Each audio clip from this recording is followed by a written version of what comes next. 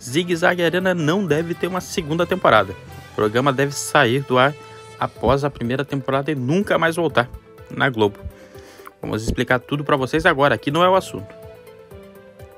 O programa de Fernanda Gentil, Zig Zag Arena, vem sendo mostrado nos inícios de tarde dos domingos, não vem conquistando boa audiência. E além disso, não vem conquistando o mercado publicitário, que é quem paga pelos produtos.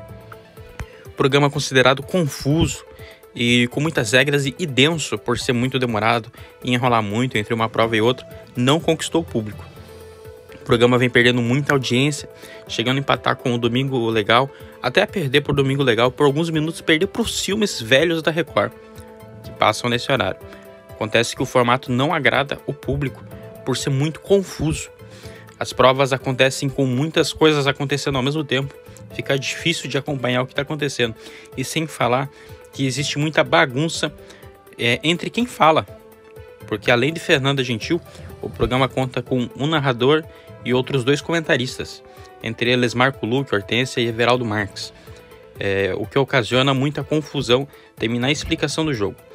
Com as coisas mal explicadas, com o jogo confuso, com muita informação acontecendo, o programa vem sendo um fracasso na Globo.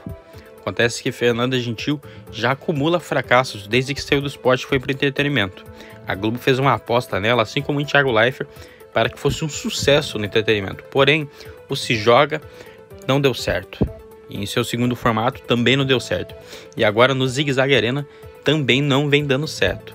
Acontece que o Zig Zag Arena é um programa de um grande investimento da Globo. Até porque ele é feito num espaço muito grande, num estúdio muito grande e com muita tecnologia, com muita estrutura. O que custa muito caro. Acontece que o programa não deu certo e deve sair do ar após a primeira temporada. Acumulando mais um fracasso para Fernanda Gentil e mais um fracasso para Globo no início de tarde dos domingos. E você tem gostado do Zig Zag Arena? Acha confuso? Acha estranho? Diferente? Qual a sua opinião sobre o programa? Comenta aqui que a gente quer saber também. A gente volta a qualquer momento com mais informações. Até mais. Tchau, tchau.